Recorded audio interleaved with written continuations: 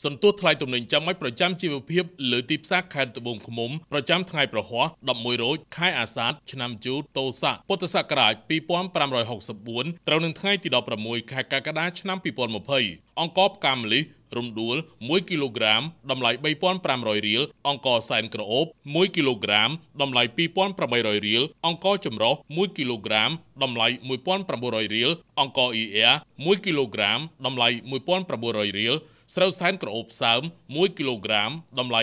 1040រៀលស្រូវផ្កាម្លិះរំដួលសើម1គីឡូក្រាម តម្លៃ1150រៀលស្រូវចម្រុះសើម1គីឡូក្រាមតម្លៃ880រៀលដំឡូងមីស្រស់នៅត្រពាំង plong 1គីឡូក្រាមតម្លៃ230រៀលដំឡូងមីក្រៀមនៅត្រពាំង plong 1គីឡូក្រាមតម្លៃ720រៀលដំឡូងមីស្រស់នៅដា1គីឡូក្រាមតម្លៃ230រៀលដំឡូងមីក្រៀមនៅដា1គីឡូក្រាមតម្លៃ720រៀល ម្រេច1គីឡូក្រាមតម្លៃ15000រៀលសាច់ជ្រូក3ជាន់1គីឡូក្រាមតម្លៃ23000រៀលសាច់គោ1គីឡូក្រាមតម្លៃ39000រៀលសាច់មាន់3សះ1គីឡូក្រាមតម្លៃ15000រៀលសាច់មាន់ស្រែ1គីឡូក្រាមតម្លៃ26000រៀលត្រីរ៉ស់ស្រែ1គីឡូក្រាមតម្លៃ